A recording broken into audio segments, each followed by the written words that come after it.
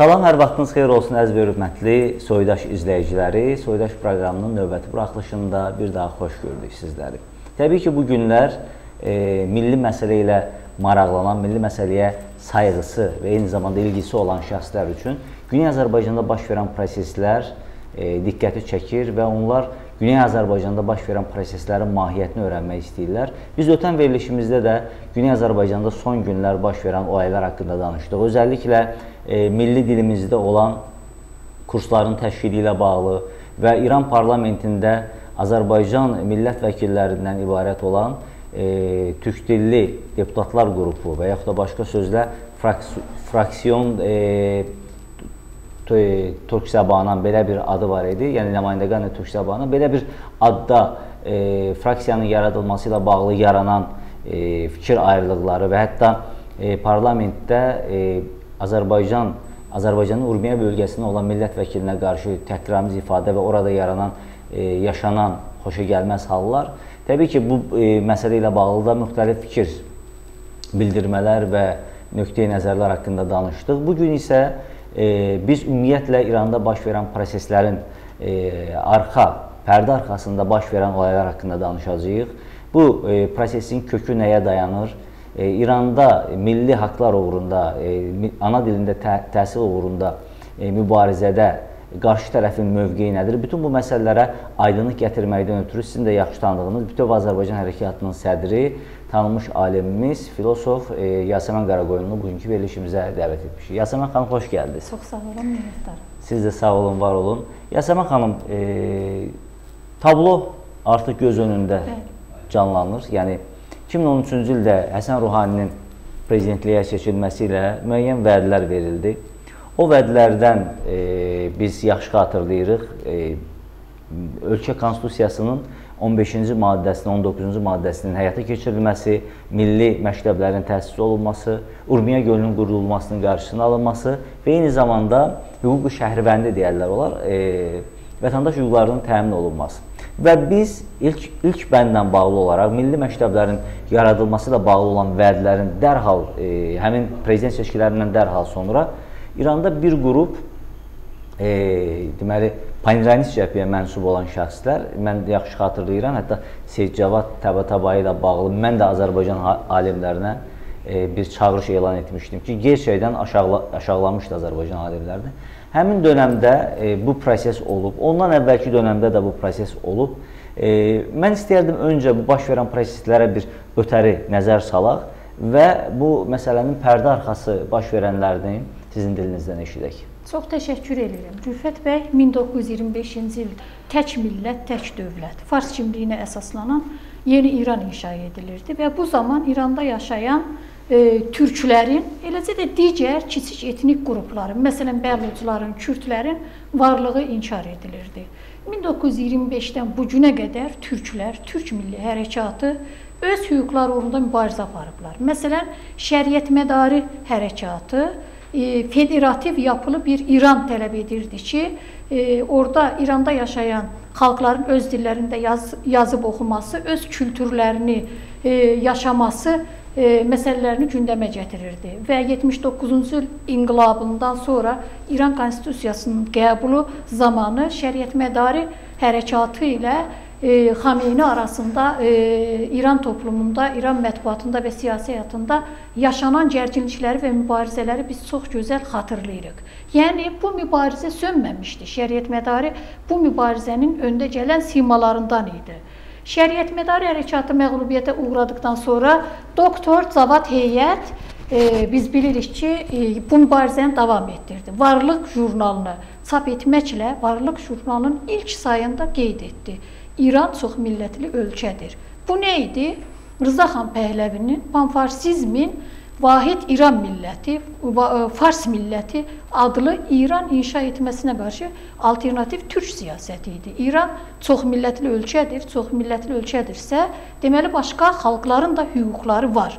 Və Varlıq dərgisi də Konstitusiyanın 15-ci maddəsinin həyata keçirilməsi uğrunda mübarizə aparıb. Elə o dərginin amacı da buydu. Həm də türk milli varlığının, dilinin, kültürünün, hüquqlarının müdafiəsi. Bundan sonra Güney Azərbaycan milli hərəkatı genişləndikcə yenə də e, e, İran daxilində xalqların öz hüquqlarına nail olması uğrunda mübarizə gedib. Yenə də dil uğrunda mübarizə, kültür uğrunda mübarizə davamlı olaraq davam edib. E, paralel olaraq İranda hər parlament seçkisi önə dövründə, hər prezident seçkisi Doğru, dövründə e, namizədlərin ad, e, çıxışlarında biz e, bunu eşitmişik ki, İranda yaşayan xalqlara, özəlliklə etnik çoğunluq olan türklərə e, konstitusiyanın 15-ci 19-cu maddələrinə uyğun olaraq e, haqlar veriləcək. Biz bunu eşitmişik, lakin bunun icrasını heç bir zaman görməmişik. Lakin e, sizin qeyd etdiyiniz kimi Həsən Ruhani də 3 il əvvəl prezident seçkisində bir daha bunu səsləndirdi. Amma Həsən Ruhaninin siyasətini izlədikdə biz e, nəyi görürük? E, bilirsiniz ki, Həsən Ruhanidən əvvəl son 10 ildə İran e, siyasi palitrasında bir mübarizə gedirdi. Mühafizəkarlar və yaşıllar. Bəli, yaşıllar İranın liberallaşmasını və qərblə yaxınlaşmasını istəyirdi. Həsən Ruhani bax bu siyasəti bu günlərdə həyata keçirməkdədir. Biraz Həm, ona düzəliş e, edeyim Yasəmən xanım. 2009-dan həmin islahatçılar bəli. E, yaşıllar cərəyanı bəli. adı aldılar, e, cərəyanı sərvis və ona qədər də o islahatçılar hətta e, Xatəmi dönəmindən 97-ci ildən o proses davam edirdi. Və mən sizə bir şey deyim, yəqin siz e, bu prosesi daha yaxşı bilərsiniz. İranda milli məsələdə İslahatçılarla mühafizəkarların fərqləri bundan e, ibarət olub ki, yəqin ki, buna siz özünüz e, razılaşmasanız düzəliş edə bilərsiniz.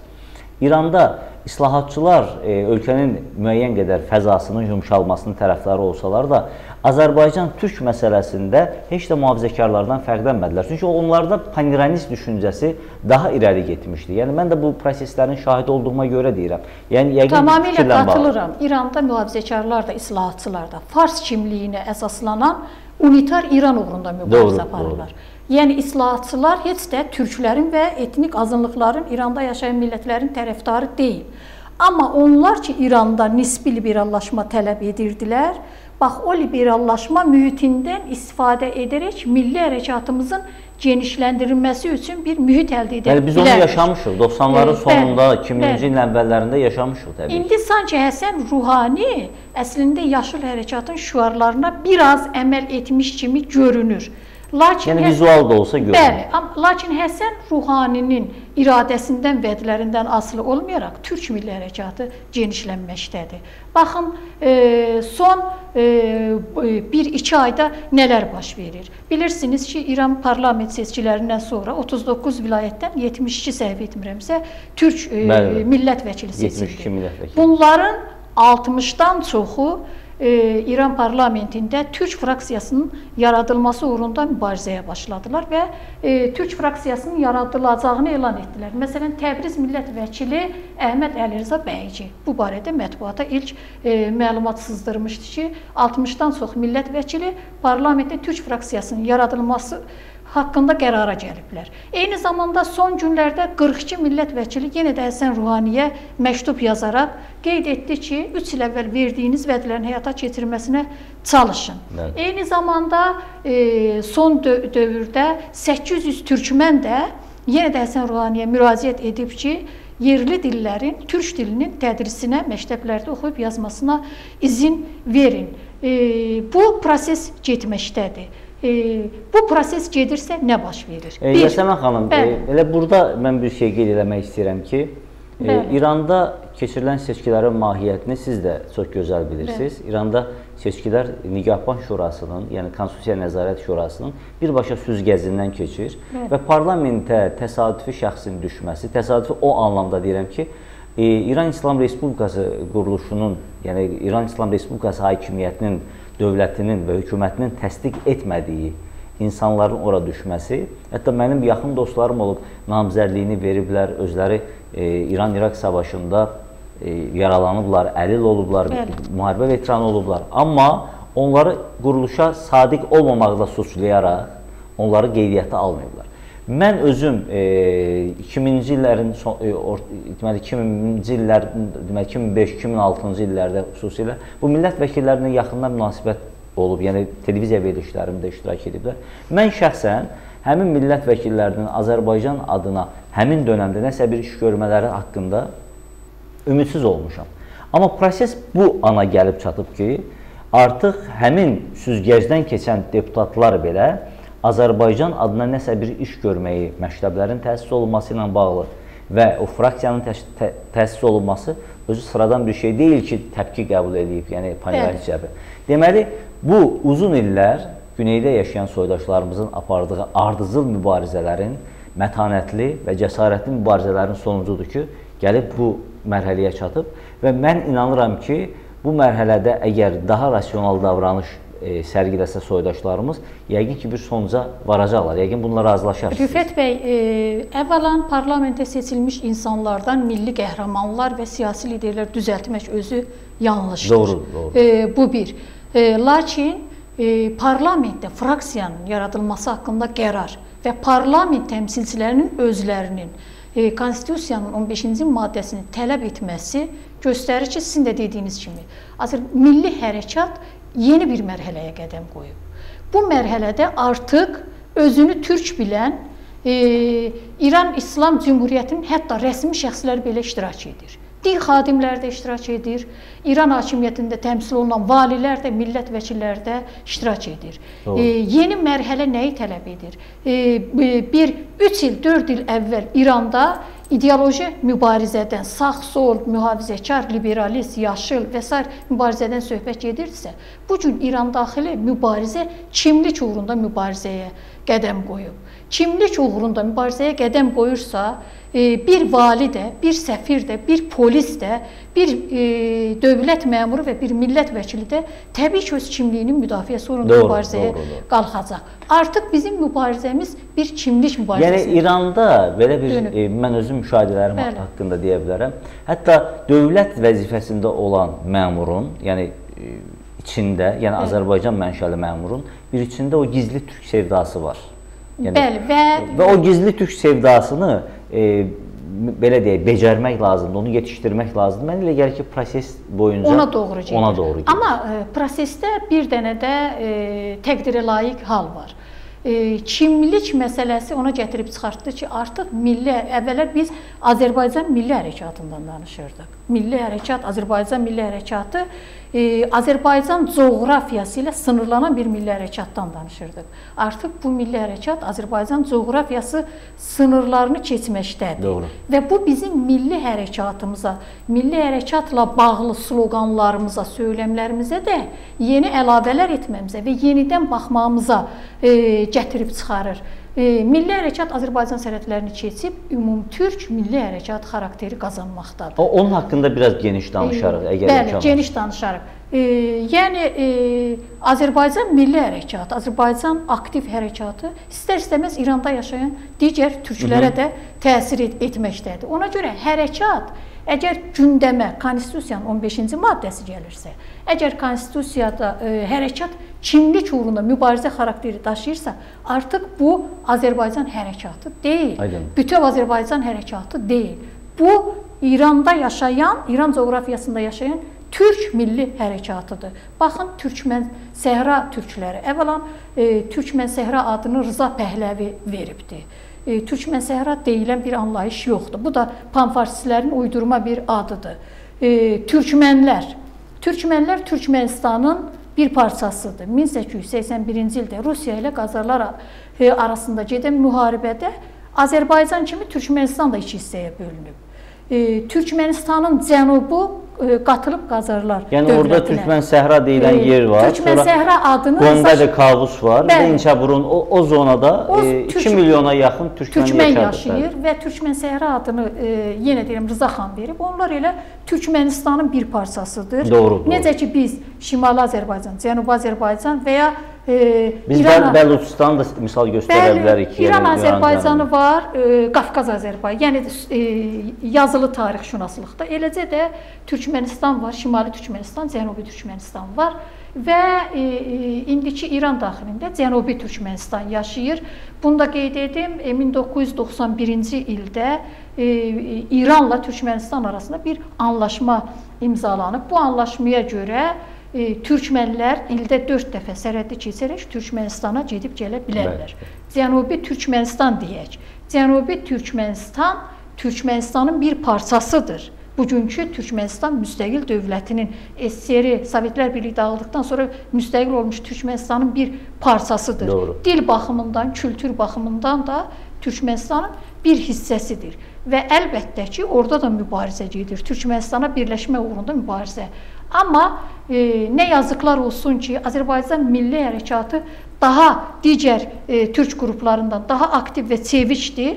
Amma e, İranda yaşayan digər etnik e, türklərin belə deyək, mübarizəsində bir informasiya blokadası var.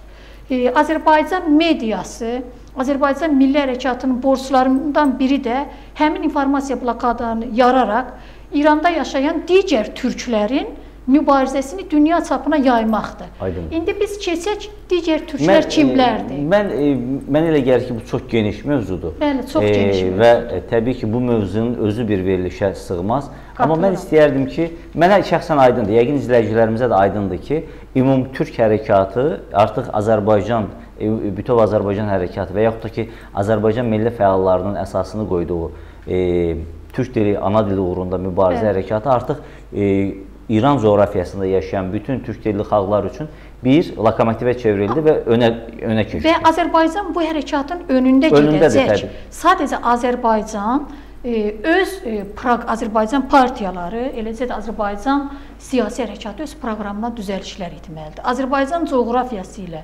sınırlanan bir hərəkat yox, bütünlükdə İran coğrafiyasında türkləri içinə qatmaqla e, sərhədlər biz coğrafiyaya bizim siyasi baxışlarımız coğrafiya indekslənmiş baxışdır. Sərhədləri biraz geniş götürsək nə olar ki, məsələni tarixi etnik coğrafiya yox, həm də demoqrafik Aydın, coğrafiya təmin aydın. edir. Yasəmən xanım, baxın e, bu prosesin önündə biz 2013-cü ildə də müəyyən əngəllərin ortaya çıxmasının Bəli. şahidi olduq. Müəyyən bir qrup var. Məsələn, e, Fərəngistan var. Bəli. Fərəngistan Zabani Farsi deyirlər. E, Fars Bəli. dili akademiyası, dil akademiyası, mədəniyyət akademiyası. E, orada bəzi alimlər var. Ümumiyyətlə o oranın mahiyyəti budur. Hətta onların bir nümayəndəsi Həddad Adil bu gün parlamentdədir. E, milli məsələ ilə bağlı, türk dili ilə bağlı hər hansı bir məsələ ortaya çıxarkən bəzi alimləri belə deyək, e, e, mediaya çıxarıb bu prosesin qabağında əngəl olmağa çalışırlar. Hətta içərilərindən Azərbaycan mənşəli, türk mənşəli alimlər də tapılır ki, bu prosesin önündə əngəl olmağa çalışırlar. Bu yəqin ki, e, bu hakimiyyətin özünün qurduğu bir siyasətdir. Yəni hakimiyyətin mahiyyətindən doğan, istər Pəhləvilər dövründə, istər 1979-cu ildən üzübəri hakimiyyətin Azərbaycan türklərinə, ümumiyyətlə İranda yaşayan türklərə nəzərən siyasətində dəyişiklik olmur. Əgər müəyyən yumşaqlıq göstərirsə də yenə də ikili standartlar davam edir. Mən istərdim bu barədə alternativləri e, gö gözdən keçirək. e, sualınıza cavab verməmişdən əvvəl e, məşhur bir türkoloq var, Gerhard Doerfer. O İranda türk ləhcələri uğrunda e, haqqında tədqiqatın sahibidir. Onun yazdığına görə İranda, İran gələcəkdə milli haqqların müdafiə olunduğu, e, bərabər kültürlərin tanındığı İsveçrəyə çevriləcəkdir. Onun belə bir təsbiti var gələcəkdə.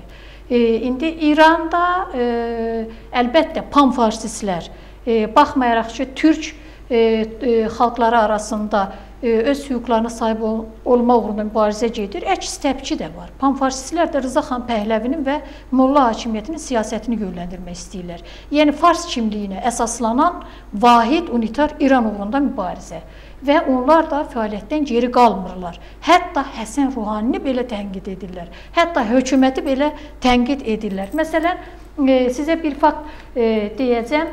E, iy iyun ayında Tehran Universitetində bir konfrans keçirildi.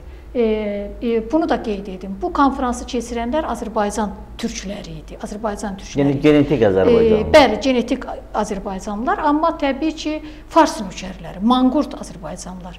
E, Azərbaycan türkləri adından keçirilməsi də bu da yenə rəsmi siyasətin bir hissəsidir. Çünki son dövrlər elə Nadir Qazipura da İran qəzetinin jurnalisti e, müraciət etmişdi ki, türklərin İranda kökəni yoxdur. E, siz Azərisiniz. E, baxın, e, həmin konfr e, indi İran türk hərəkatının, ümumi türk hərəkatının genişləndiyini görərək e, panfarsistlər bu hərəkatı bölmək üçün ortalığa o e, kəsrəvinin və panfarsizmin ideologiyasını ortalığa salırlar. Siz türk deyilsiniz, siz Azərisiniz. Məqsəd e, hərəkatda bir bölücülük yaratmaqdır. Fikir bölücülüyü, tarix şuurunda çarptırma yaratmaq. Baxın Tehran Universitetində keçirilən konfransın adı nədir? Azəri vətənxahları toplantısı.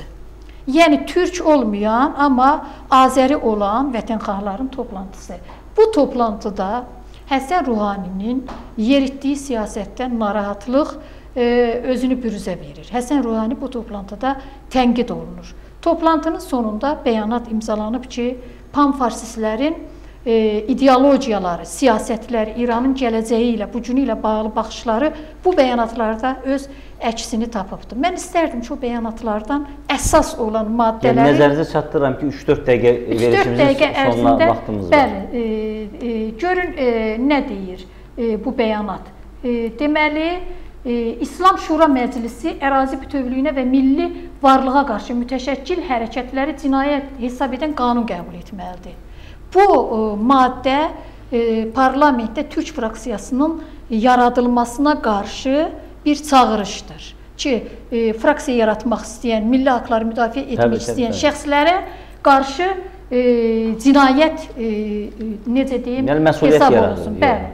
E, eyni zamanda məktəblərdə yerli dil, dilin tədrisi kimi məsələlər Azərbaycan xalq kütləsi arasında e, tarixi nəzəri baxımından heç də dəstəklənmir bu e, küçə və bazar əhlini narahat etmir. Burada Azərbaycan türkləri təhqir olunur, küçə və bazar əhli hesab yəni, olunur. Yəni ümumiyyətlə İran e, televiziyasında da belə Bəli. Azərbaycanlı ya türk Bəli. obrazı o cür dizilir. Bu bir e, sistemli siyasətin. Bəli, məktəblərdə yerli dilin e, tədrisi e, Azərilərin fikrincə e, siyasi təhlükəsizlik ekspertizas, ekspertizasından keçirilməlidir. Tədris haqqında e, çağırışlar və qanunlar.